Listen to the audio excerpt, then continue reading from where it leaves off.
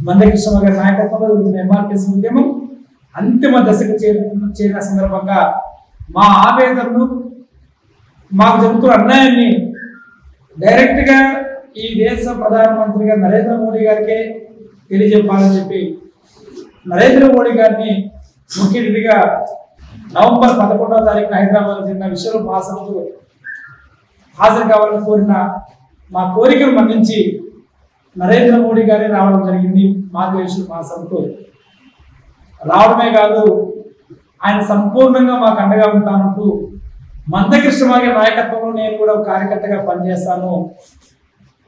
ఖచ్చితంగా విశ్వరూప మహాసభ కేంద్రంగా నరేంద్ర మోడీ గారి ఇచ్చినటువంటి సందేశం ఏంటున్నదో ఆ సందేశంలో మేము సంపూర్ణంగా విశ్వసిస్తున్నాం. వర్గీకరణ జరుగుతుంది ఆశ వ్యక్తం చేస్తున్నాం. ఆయన రెండు విషయాలు స్పష్టంగా గుర్తు చేశారు వర్గీకరణ సమస్య ఇక నాకు వదిలేయండి. పార్లమెంట్ ద్వారా కానీ సుప్రీంకోర్టు ద్వారా కానీ వర్గీకరణ చేయించడానికి కావాల్సిన రకం సిద్ధం చేయబోతున్నామని చెప్పి స్పష్టంగా హామీ ఇవ్వడం జరిగింది.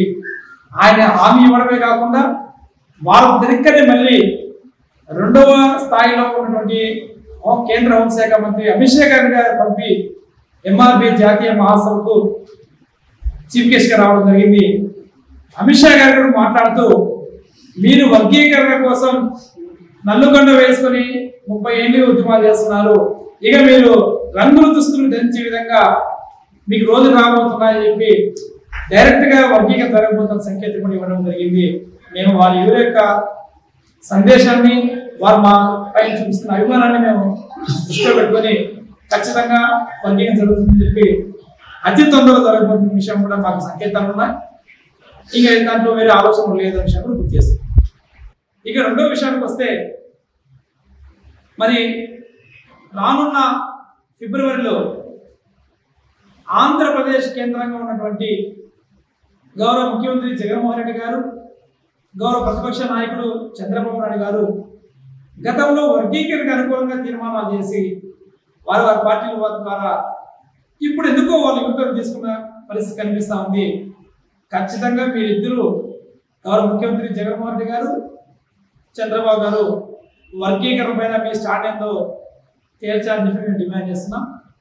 అందుకోసం ఫిబ్రవరి పదవ తారీఖున విజయవాడ కేంద్రంగా మాదిగల కురుక్షేత్ర మహాసభను జరపాలని చెప్పి మందకృష్ణ మాది గారు ఆంధ్రప్రదేశ్ రాష్ట్ర కమిటీ తీర్మానం చేయడం జరిగింది. మరి అందుకు సిద్ధం కావాలని చెప్పేసి ఎంఆర్పిఎస్ మరియు అనుబంధ విభాగాల ఉద్యమశ్రేణి మేము పిలుపునిస్తున్నాం.